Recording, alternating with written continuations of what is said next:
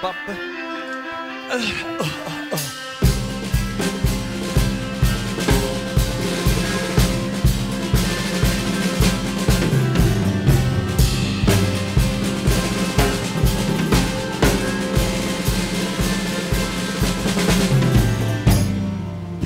everyone. All the angels are singing. There we go.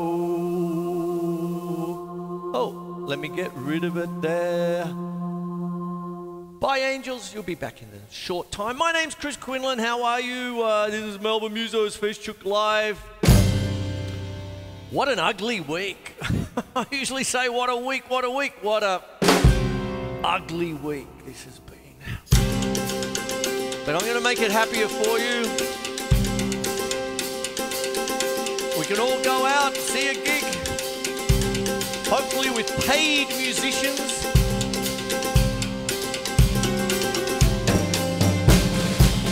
And what I want to do tonight is talk to you about all my usual things.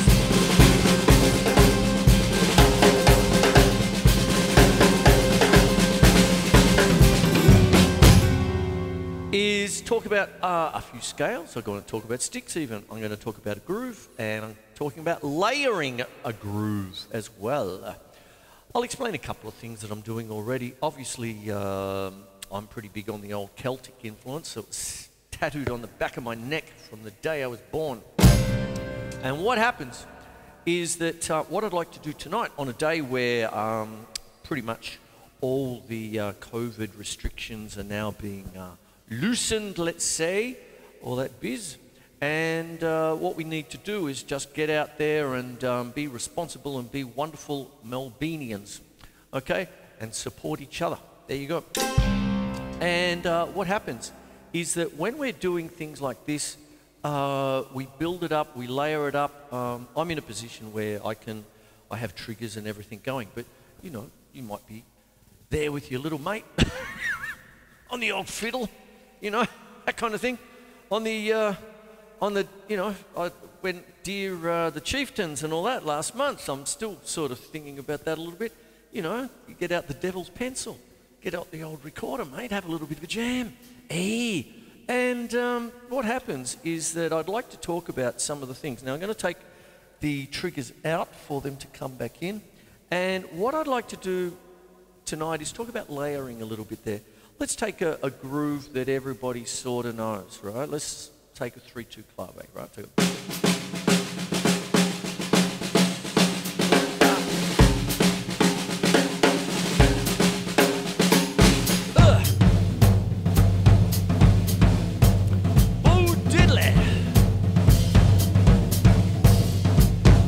Okay, let's take that. So let's talk about it. First of all, I'll put it on the hi hat so you can hear me counting it.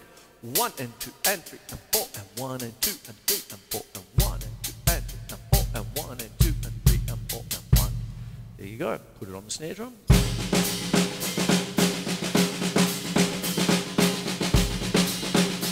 Put a bit of swing into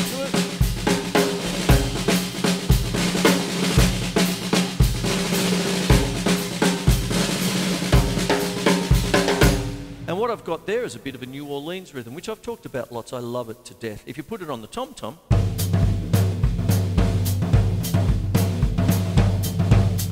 with a two feel, what you've got is a good old Bo Diddley for many songs, like Bo Diddley.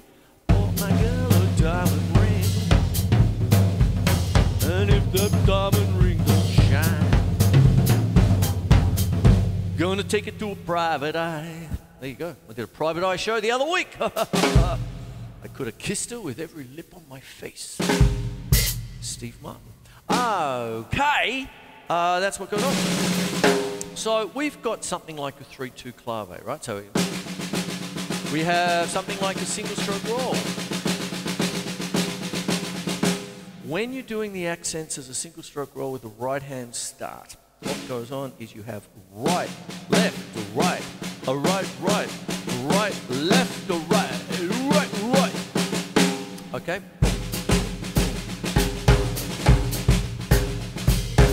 And when you want to do the, the uh, Tootsie pattern, the feet, you have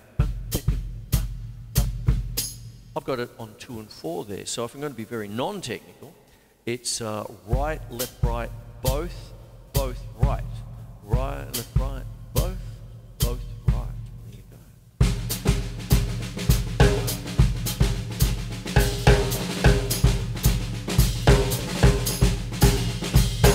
With a little bit of splash hat in there too. But what happens if you want to make it a bit funky, you know?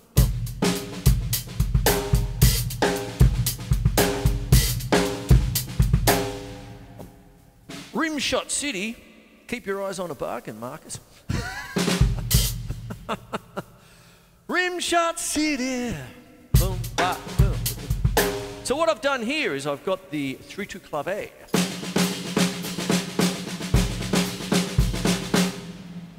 Go. French accent.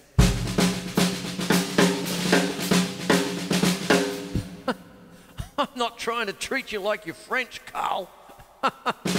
Quote from this morning. Anyway, there you go. That was a funny little bit of television. Anyway, so what happens is I've got the uh, 3 2 clave.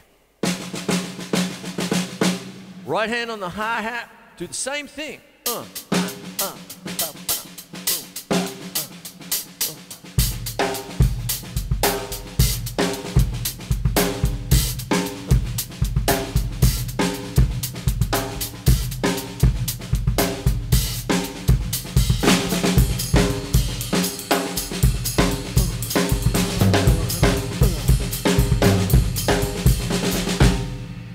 have sort of like a bit of a funky thing, still based on the 3-2 clave. See? Get it? Got it? Good. And that's Danny Kaye.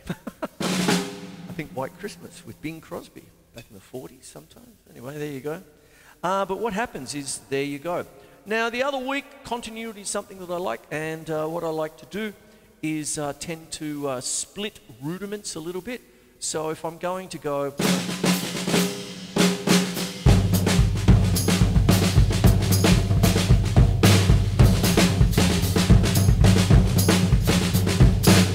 That's still the 3-2 clave, but I'm splitting it up with the tom-toms now, you know. Flam them, all sorts of stuff.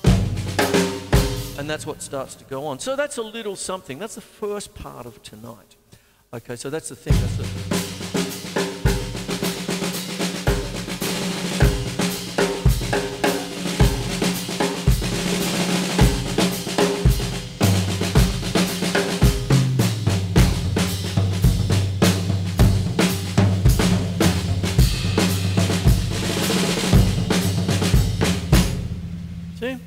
sort of thing going. There, I'm just splashing the hats on the fork. So when it goes like that.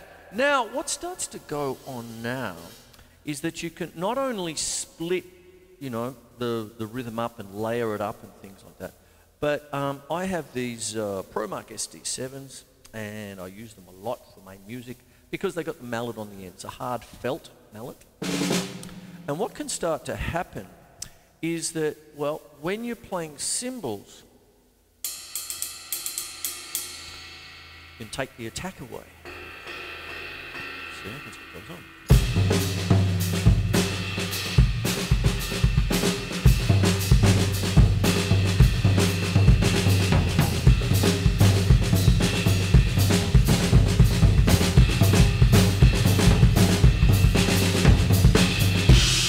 I'm hoping you can still hear the 3-2 clave. And uh, what's happening is that because I'm using the mallet end, uh, it takes away the attack. Okay, so once again,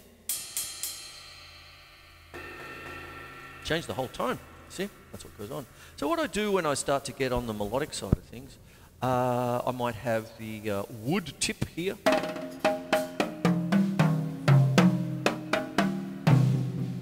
Mm, Take this off for a second.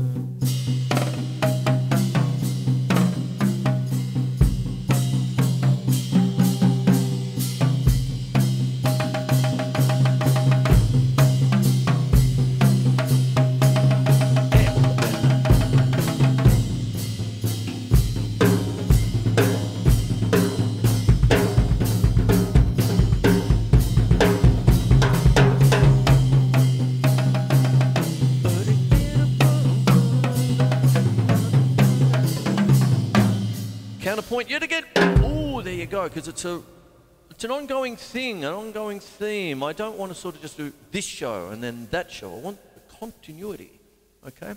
And, um, you know, like a recurring theme. So you can develop, develop it up and um, work it up. And as you work it up, I'll try and add bits for you as I keep on going. That's what it is. That's the idea. so what goes on is there's that. Now, when you're doing things like that, you can swap it around. Now, one of the things um, that happens, uh, this is something that um, Billy Cobham showed me you know, 20 years ago when I was filming him for the show and everything. But he would look at the fulcrum of the stick. And uh, what would happen? When you're doing things like finger control, what happens is that you have um, the fulcrum uh, where you're relying on the bounce of the stick, you see. However, when you're dealing with um, uh, multi-sticks is what these are known in, Vic Firth called them swizzle sticks. And uh, what happens is that um, because of the felt, because of the, the, the thick shaft, uh, what happens is the fulcrum tends to change. So what starts to happen is if I'm going to start using the felt side, look how far up the fulcrum is. See, if I hold it too far back, uh, like in the normal spot, oh, that's a club. There you go, mate. There you go. So.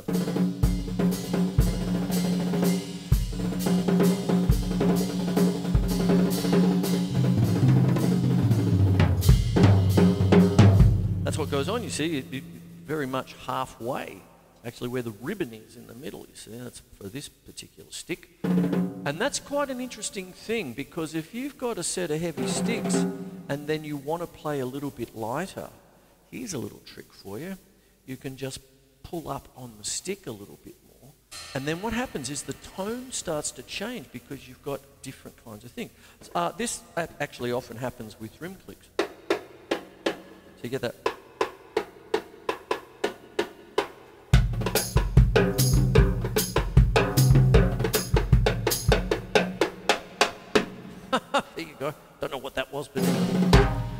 Going to do that. But anyway, that's the thing about sticks. You can change the uh, fulcrum to get different kind of.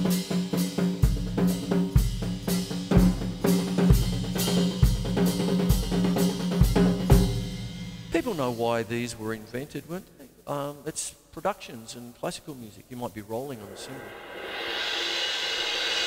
Then you literally have one beat to change the.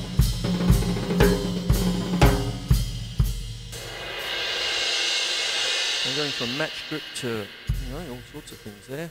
Wait, eight, oh. Got the picture? Get it? Got it? Good.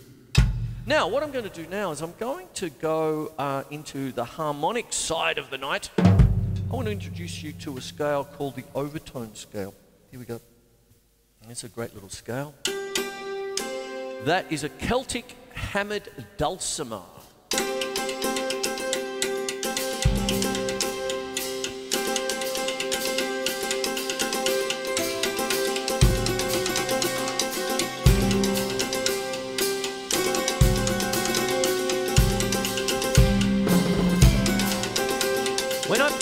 Rims like this, I think of things like the bones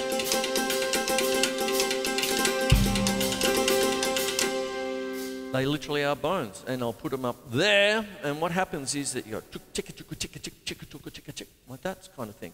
And uh, very Celtic, very European, actually.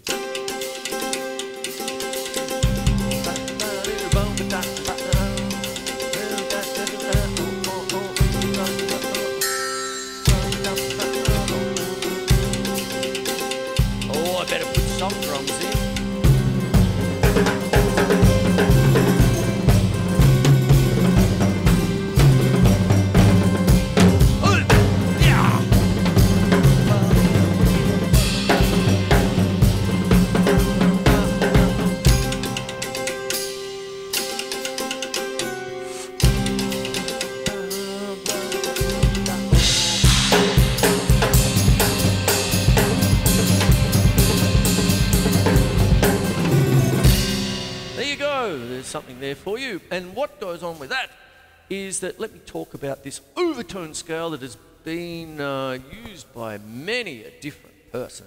Gives you with with the added um, tone of the dulcimer, it gives you quite the Celtic feel. Uh, a few weeks ago, I was talking about the Mixolydian mode. Okay. Now, with the Mixolydian mode, you've got the one, two, three, four, five, six, flat seven octave, and that gives you uh, that. Zappa loved playing in a Mixolydian mode. Uh, and um, uh, if you, like in the most basic of ways, if you think like major happy, minor sad, Mixolydian makes you sound a little Irish. There you go. With the overtone scale, um, let me give you the uh, steps, if you will. It is one, two, three, sharp four, five, six, flat seven, octave. I'll put it here, and um, later on for the for the show, and beloved channel 31, all that. And if I'm going to do it in C, which is what I have here.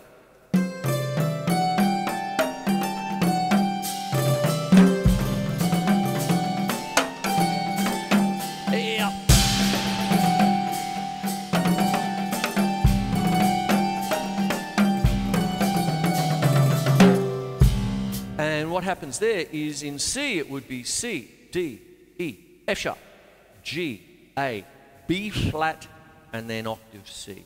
Get it? And that's what you got.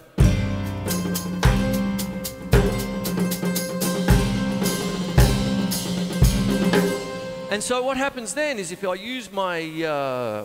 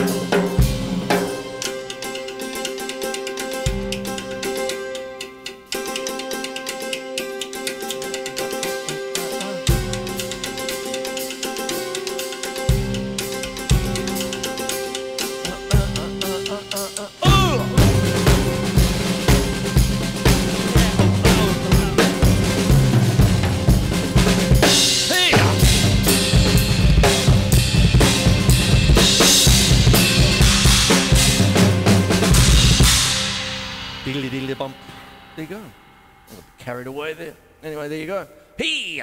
So that's what you've got, you see.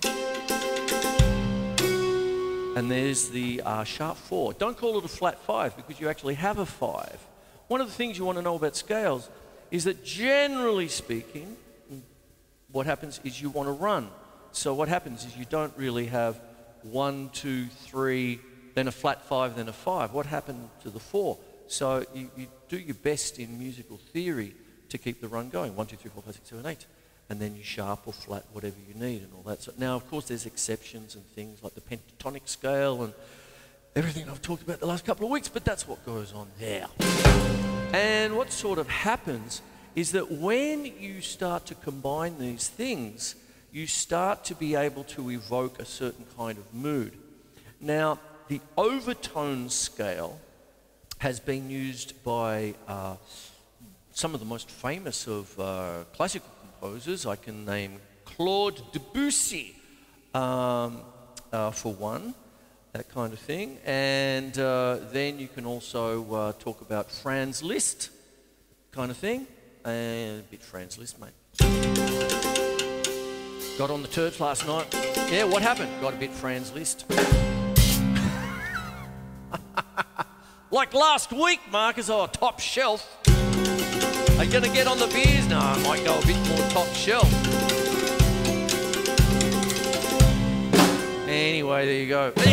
And what happens is that you also have some of the 20th century composers like Bela Bartok. Ooh, I love him. He's very, oof, very serious and all that. And um, he would um, I'll talk about Bela Bartok. I'll put him up there again and all that. But uh, what happens is that he, uh, wonderful composer, um, Chick Corea's uh, favourite composer, I believe, um, beloved Chick Corea, who passed away not oh, about a year ago or whatever. I did a tribute show to him. Uh, but what it is is um, he was a musicologist, and so in the 1930s he would go into the European forest and seek out gypsies and all that, and record their music and do all that. And um, it's fascinating. And he would bring these Hungarian, if you like, folk melodies and put them into his, you know, string quartets, his pieces, and all sorts of stuff. And um, one of the things they used was the overtone scale.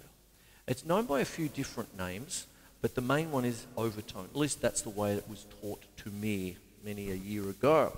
And what happens is that with that, um, you start to get an edge on how the sounds, how the moods are created.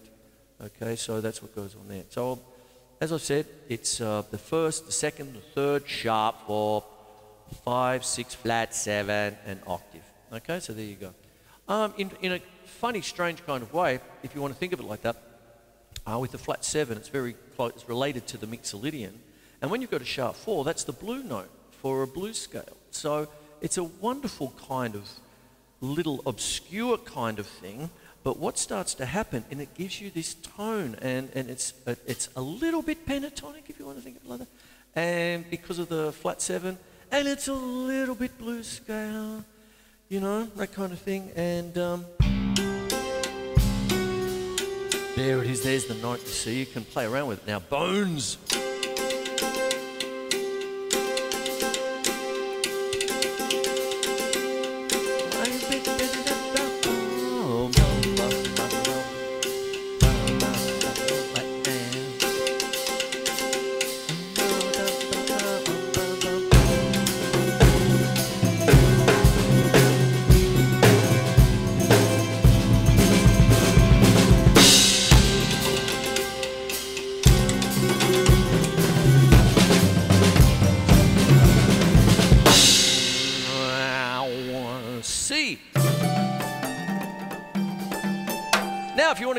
Dream sequence. Let's uh, put the girls. Hello, ladies. You're back.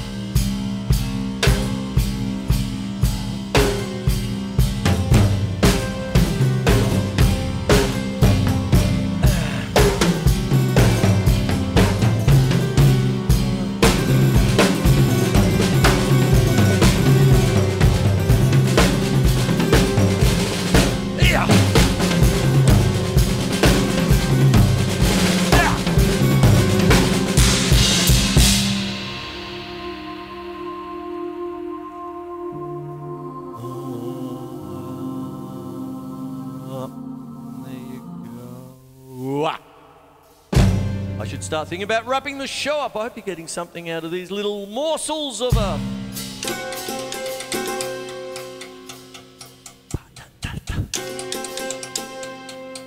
If you tap light enough, you get under the threshold.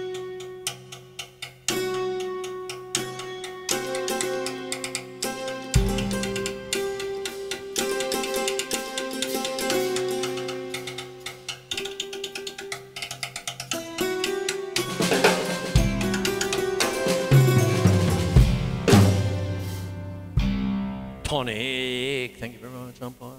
Anyway, there you go. And uh, what happens with that is that with the overtone scale, and then the dulcimer, then you use your sticks, the SD7s, and you use the rims for the bones, and then you put things around. You are way past the local door cut take gig there.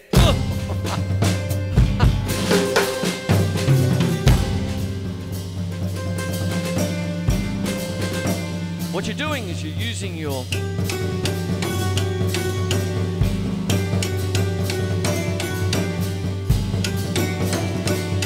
your nous. Where can this go?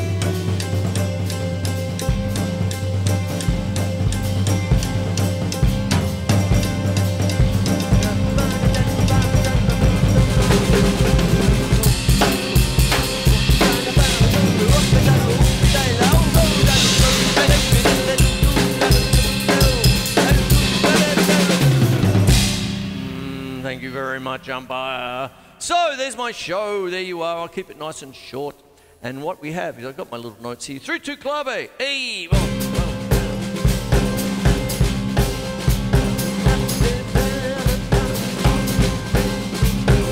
I want candy. oh boy. Overtone scale. Known by a few names, um, but um, look it up and I'll go over it again if you like. It's the one, the two, the three, sharp four, five, six, flat seven, octave. There you go, and it gives you that sound. Hammered dulcimer, patch, SD7 sticks. What else? Bones. There you go, and I'm out of here.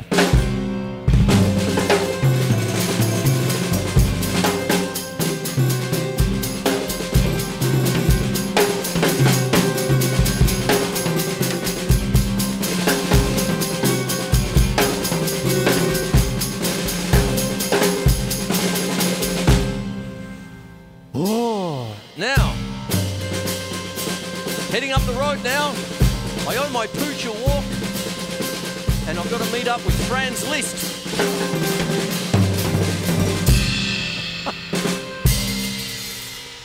Take care. Oh, I didn't do one thing. I've got to do one thing. Ah, ah, I didn't do this. Oh, I've got to put it in. Uh, uh, uh, uh, uh, uh, uh. Bring in the ladies.